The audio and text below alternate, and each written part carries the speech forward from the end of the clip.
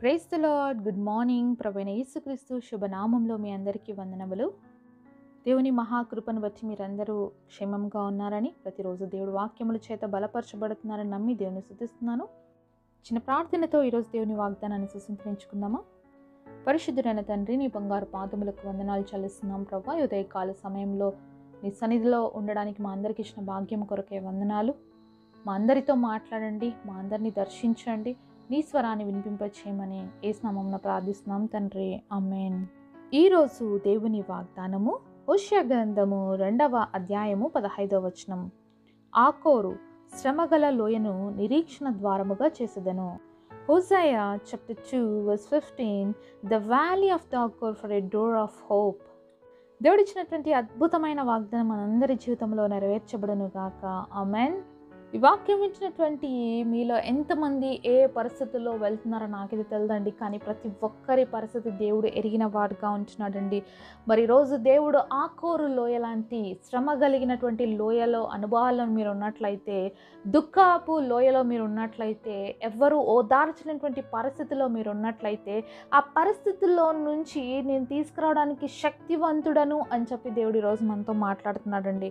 ఈరోజు నువ్వు వెళ్తున్నటువంటి శ్రమలు ఈరోజు నువ్వు వెళ్తున్నటువంటి పరిస్థితులు నీ జీవితంలో చాలా కష్టతరంగా ఉన్నాయేమో. ఇంకా నాకు నిరీక్షణ లేదు అని బాధపడుతున్నావేమో. నేను ఇంతే ఇంకా నా పరిస్థితి అయిపోయింది ఎంటతో అని నువ్వు బాధపడుతున్నావేమో. ఎక్కడ కూడా నీకు ఒక మార్గం అయితే కనిపించినటువంటి పరిస్థితిలో ఉంటున్నావేమో. అయితే దేవునితో మాట్లాడుతున్నాడండి. నీ చుట్టూ ఉన్న పరిస్థితులను చూసినంతసేపు నీ జీవితంలో మరి నువ్వు అన్నీ కూడా నిరాశగానే చూస్తావు. అన్ని పరిస్థితులు నీకు ఇబ్బందికరంగానే కనిపిస్తాయి. కానీ నిరీక్షణ కలిగజేసేటువంటి దేవుడి వైపు నువ్వు చూసినట్లయితే దేవాది దేవుడు అంటున్నాడు ఈరోజు నీ జీవితంలో నువ్వు శ్రమ అనుకుంటున్నటువంటి ఆ యొక్క లోయని దేవుడు ఈరోజు నిరీక్షణ ద్వారంగా మార్చబోతున్నాడండి. మీరు అనుకుంటున్నారేమో ఇది జరగడం సాధ్యమేనా నా జీవితంలో? మరి దేవుడు వాగ్దానం అయితే ఇంత గొప్పగా ఉంది అవుతుందా? అని మీరు ఆలోచిస్తున్నట్లయితే తప్పకుండా అండి. మనము దేవుణ్ణి నమ్మితే మన పరిస్థితి ఏదైనా సరే ఏ సిచ్యుయేషన్ అయినా సరే ఎంత అసాధ్యంగా కనిపిస్తున్నప్పటికీ కూడా సరే దేవుడు చెప్పినట్లుగా శ్రమగల లోయను ఆ కోర లోయను దేవుడు నిరీక్షణ ద్వారంగా చేయబోతున్నాడండి ఈరోజు. ఎంతోమంది జీవితాల్లో దేవుడు అయిపోయింది ఇంకా ఇంతే నా పరిస్థితి అనుకున్న అనేక మందిని లేవనైతే నిలబెట్టాడండి దేవుడు. అలాంటి దేవుడే ఆ రోజున్న దేవుడే ఈరోజు మన జీవితాల్లో కూడా ఉన్నాడు. ఆ రోజు సహాయం చేసిన దేవుడు ఈరోజు కూడా మనకి సహాయం చేయడానికి సిద్ధంగా ఉన్నాడు. కాబట్టి నువ్వు నిరీక్షణ కోల్పోవద్దు నువ్వు నిరాశపడద్దు నువ్వు నమ్ముకున్న దేవుడు సమస్తము చేయడానికి సాధ్యవంతుడు. ఎందుకంటే ఆ కోర లోయను నిరీక్షణ ద్వారముగా మార్చేటువంటి గొప్ప దేవుడు అండి లోయ అంటే మనందరికి తెలిసింది ఎంతో డౌన్ లోపలికి ఉంటుంది కదా. ఒకసారి లోయలో పడిపోయినామంటే ఇంక అంతే అంటుంటాం పైనుంచి కింద పడితే.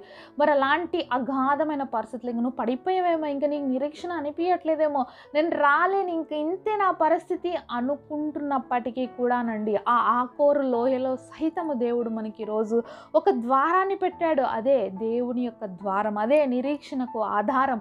అదే ప్రభు అయిన యేసుక్రీస్తు. ఎప్పుడైతే ఏసయ్య పైన మనం నిరీక్షణ కలిగి ఉంటామో ఏసయ్య వైపు చూస్తామో అసాధ్యకరమైన పరిస్థితుల్లో సహితం మనకి ద్వారం తెరవబడుతుందండి. దేవుడు ద్వారాలు ఎలా ఉంటాయంటే చాలా అద్భుతంగా ఉంటాయండి. అన్ని దారులు కూడా అన్ని ద్వారాలు కూడా మోయబడతాయేమో. కానీ మేము వెళ్ళవలసిన ఒకే ఒక్క దారి అదే నిరీక్షణకు ఆధారమైనటువంటి దారాన్ని దేవుడు మనకు తెరిచిపెడతాడండి. బైబిల్లో మెఫీభూషిత్ అనే వ్యక్తి ఉన్నాడండి. మరి ఇతను ఎవరు అంటే యోనాతాను కుమారుడు సౌలుకి మనవుడు. అయితే ఈ వ్యక్తి జీవితంలో మరి ఎంత దుర్భరమైన పరిస్థితిలో జీవిస్తున్నాడంటే ఒక రాజకుమారుని యొక్క హోదాలో ఉండవలసినటువంటి వ్యక్తి ఒక బానిస ఇంట్లో పెరుగుతున్నాడు. తన జీవితంలో వచ్చినటువంటి పరిస్థితి తనని ఎంతో అల్లకల్లోలం చేసింది. తన జీవితాన్ని నాశనం చేసింది. తన జీవితంలో వచ్చిన శ్రమలు తన కలిగినటువంటి పరిస్థితులు తన కుటుంబంలో రేగినటువంటి భయంకరమైన తుఫాన్లు తన జీవితాన్ని యొక్క లోయలోకి నెట్టేశాయండి. మరి మెఫిబోషత్ చిన్న పిల్లాడుగా ఉన్నప్పుడు మరి ఫిలిస్తీన్లతో ఇస్రాయల్కి యుద్ధం జరుగుతుంది. అదే యుద్ధంలో తన తాత మరణించాడు తన తండ్రి మరణించాడు. మరి యోనాథాన్ యొక్క కుమారుడిని చంపేస్తాడని చెప్పి వాళ్ళ దాది మరి ఆ యొక్క బిడ్డను తీసుకొని పరిగెత్తు పరిగెత్తి వెళ్తున్నప్పుడు కింద పడి ఆ బిడ్డ రెండు కాళ్ళు విరిగి కుంటివాడైపోతాడు మెఫిబోషత్. తన పుట్టుకతో అయితే కుంటివాడు కాదండి కానీ పరిగెత్తున్న సమయంలో దాది చేతిలో నుంచి కింద పడిపోయి కుంటివాడైపోయాడు. ఒకసారి ఆలోచించండి ఆ బిడ్డ పరిస్థితి ఎంత ఇదిగా ఉంటుంది. మరి కాళ్ళు లేవు ఇప్పుడు. అలాగే తల్లిదండ్రులు లేరు తనను చూసుకోవడానికి తన యొక్క రాజ్యము తన తండ్రి రాజ్యము వెళ్ళిపోయింది. తను ఇప్పుడు ఒక బానిస కుటుంబంలో పెరుగుతున్నాడు. మరి వ్యక్తి ఎంత బాధపడి ఉంటాడు తన జీవితంలో?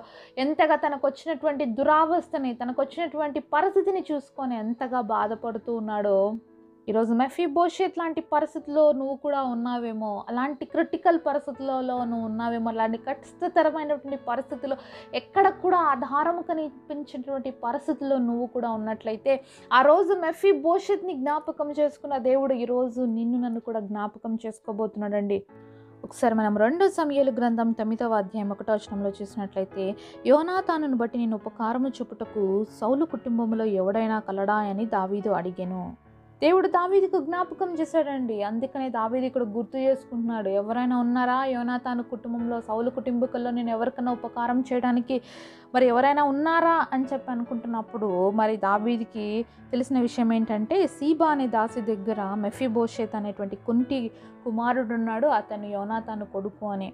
అయితే అతన్ని పిలవనంపించండి అని చెప్పినప్పుడు మెఫీబోషెత్ ఎంతో భయపడుకుంటూ మరి దావీదు నన్ను ఏమైనా చంపేస్తాడేమో? మా తాత అతన్ని ఎంతగానో తరిమాడు కాబట్టి నాకు అపకారం తలపెడతాడేమో అని భయపడుకుంటూ వచ్చాడు.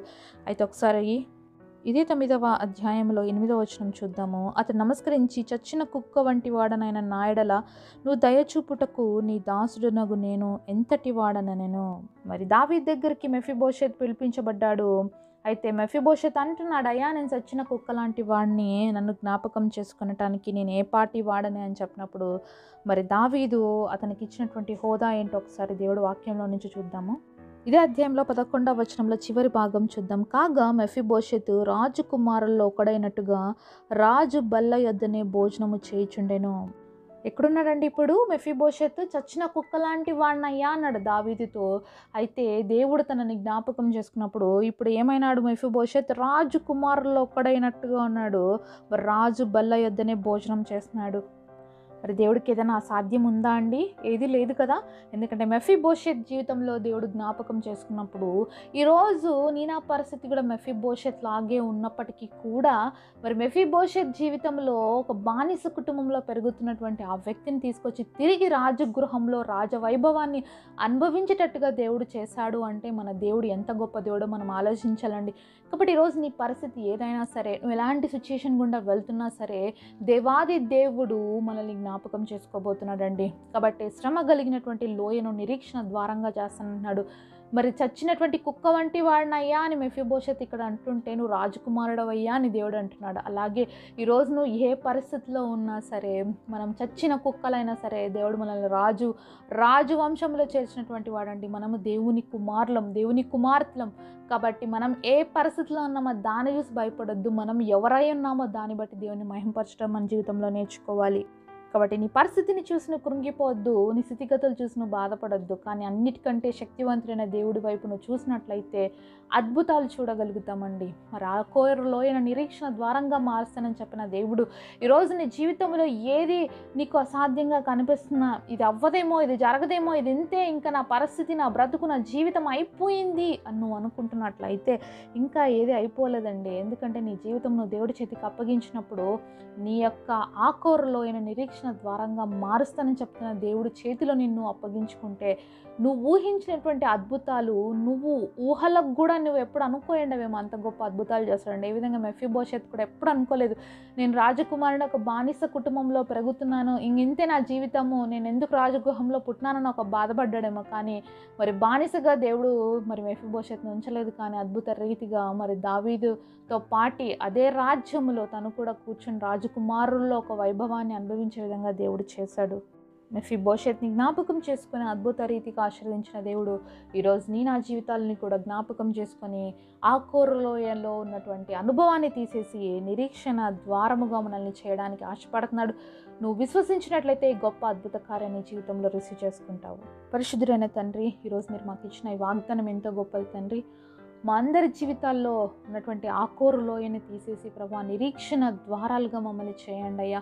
ఈరోజు ఎవరు ఏ పరిస్థితిలో ఉంటే ఇంకా అయిపోయింది మా జీవితం అని బాధపడుతున్నారో అయ్యా మా అయిపోయిన జీవితాల్ని అయిపోబోతున్న జీవితాల్ని నీ చేతులకు అప్పగిస్తున్నామయ్యా మమ్మల్ని అందరూ నిరీక్షణ కలిగిన వారుగా నీ వైపు చూస్తూ నడుచుకొని గొప్ప అద్భుతాలు మెఫిభవిష్యత్ జీవితంలో పొందుకున్నట్లుగా మేము కూడా పొందుకుని మహింపరిచే కృపను మా అందరికి ఇవ్వమని గొప్ప వాగ్దానం మా జీవితాల్లో నెరవేర్చమని ఏ స్నామంలో ప్రార్థిస్తున్నాము తండ్రి. అమ్మేన్